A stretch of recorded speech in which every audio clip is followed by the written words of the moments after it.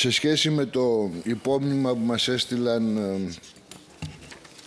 ε, συγγενείς ε, των θυμάτων ε, έχουμε να πούμε το εξής ότι η ανακριτική διαδικασία είναι μια ξεχωριστή αλλά και παράλληλη διαδικασία με την Εξεταστική Επιτροπή. Το γνωρίζαμε έτσι και αλλιώς όταν καταθέσαμε ως ΚΚΕ ε, την πρόταση για τη συγκρότηση της Εξεταστικής Επιτροπής ότι θα τρέχει παράλληλα και η διαδικασία η ανακριτική.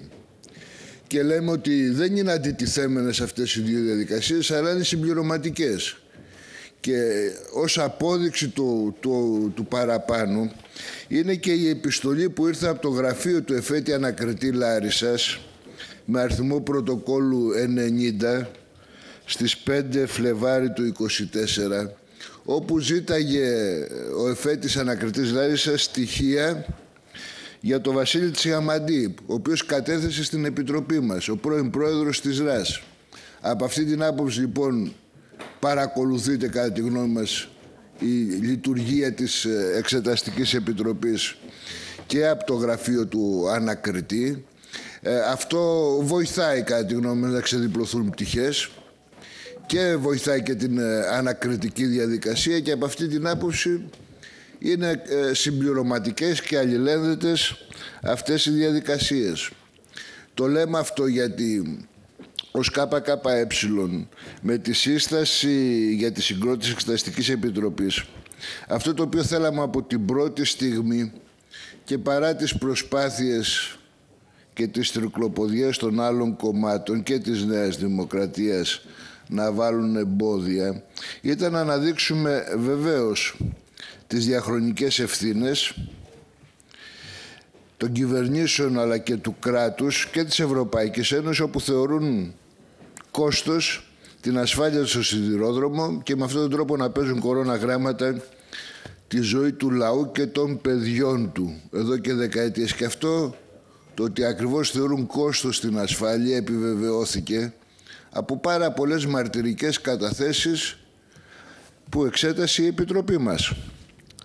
Έτσι λοιπόν αυτή η ανάδειξη των διαχρονικών πολιτικών ευθυνών έχει και τεράστια σημασία για να αποκαλυφθούν ποιοι είναι οι πραγματικοί υπεύθυνοι, τι πραγματικά πρέπει να αλλάξει για να μην ξαναγίνουν άλλα τέμπη. Και αυτό είναι πολύ σημαντικό, να μην έχουμε επανάληψη του συγκεκριμένου αυτού εγκλήματος. Αλλά ακόμη και από το υπάρχον υλικό που έχει συγκεντρωθεί από την Επιτροπή μας δεν έχουν απλά και μόνο αναδειχθεί σαφέστατες πολιτικές ευθύνες αλλά υπάρχουν και ποινικές ευθύνες κατά τη γνώμη μας πολιτικών προσώπων και για πράξεις και για παραλήψεις.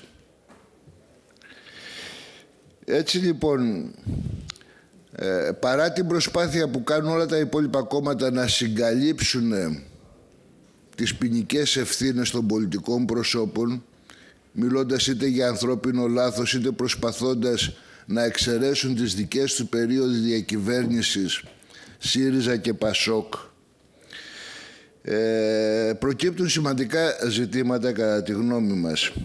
Και από αυτή την άποψη εμείς ε, επιμένουμε ότι η Εξεταστική Επιτροπή έχει μέχρι στιγμής παρά τις προσπάθειες που έχει γίνει επιτελέσει σοβαρό έργο. Και γι' αυτό ακριβώς το λόγο θεωρούμε ότι η Εξεταστική Επιτροπή πρέπει να συνεχίσει τις εργασίες της ε, και βεβαίως γιατί δεν μπορούμε να γνωρίζουμε ακρίβεια αυτή τη στιγμή πότε θα ολοκληρωθεί η ανακριτική διαδικασία αλλά ακόμη και αν ολοκληρωθεί η ανακριτική διαδικασία πριν την ολοκλήρωση Εξεταστικής Επιτροπής, το πόρισμα της ανάκρισης βεβαίως θα μπορούσε να ε, αξιοποιηθεί ε, ως μέσο πίεσης για να εξεταστούν περισσότεροι μάρτυρες και να αποδούν και περισσότερες ευθύνες. Το λέμε αυτό γιατί βεβαίως και εμείς επιμένουμε κύριε Πρόεδρε στην ανάγκη να εξεταστούν και άλλοι μάρτυρες. Ακούστηκαν από τους προηγούμενους ομιλητές μια σειρά ονόματα με τα οποία συμφωνούμε.